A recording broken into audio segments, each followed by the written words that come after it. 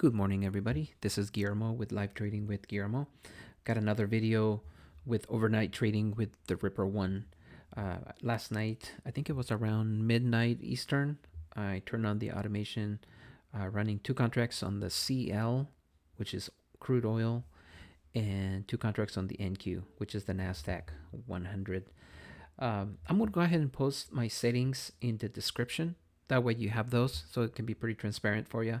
But basically, uh, a friend of mine told me that the the CL, you know, crude oil, moves in eight or 10 cent increments. That's what he shared with me. So uh, he suggested that I should go for like a between an 8 tick and a 10 tick profit target. So I went with 10 on the CL. And then on the NQ, I've been sticking to my um, uh, 20 tick uh, profit target on that. So that's the approach I did last night. But like I said, I'll post my I'll post my uh, settings in the description, so just so you have those, just in case you want to take them for a test drive. Uh, make sure uh, before you uh, test them out, you you run them on simulation just to make sure it's um, something you want to do for yourself. But it worked wonderful wonderfully for me last night, as you'll see in the video. I did use the kill switch at eight hundred dollars profit, uh, so I think it ended up. Um, stopping the software, I think it had uh, grossed 835. So it, I used the account uh, PNL. So uh, I had it active on both bots. I, am not sure if I ran it correctly or not, but anyway, you'll see the text is kind of crunched. I think I need to shrink down the font. And because I have two charts up at the same time for recording, I think everything got kind of jumbled up uh, in the text. But you can make out what's happening basically made 405 bucks on one and then 430 on the other um, on the other instrument. So that was pretty pretty cool to see. Everything worked like it was supposed to. Um, and i just want to say sorry i hadn't posted a video in a couple days. Uh, as you guys uh, may recall i was running a beta version of the prop guard you know TruTrade had asked me to uh, kind of test drive for them and i did.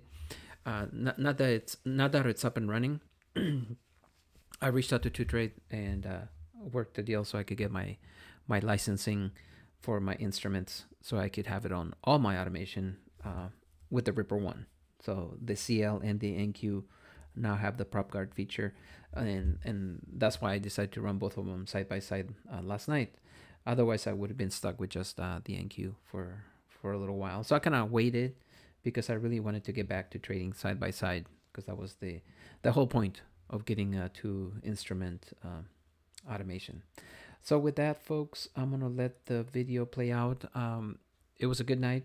Uh, took two trades on each instrument. Uh, trading, I think, took only maybe four hours last night, and, and then it killed the and then it, the switch killed the the bot, and it was done. So it was definitely uh, uh, smoother sailing than I've seen in other evenings. Um, by the time I got up this morning, uh, which was around six fifteen uh, the bot had already stopped way, way, way earlier, which was kind of cool because I didn't have to interfere in any sort of way. So that was nice. But with that, folks, I'm going to let the video uh, play out. It is about almost four hours of trading. It's been shrunk down to about three minutes, three and a half minutes for your viewing pleasure. So with that, um, have a great day, and I'll see you on the next video. Take care now. Bye.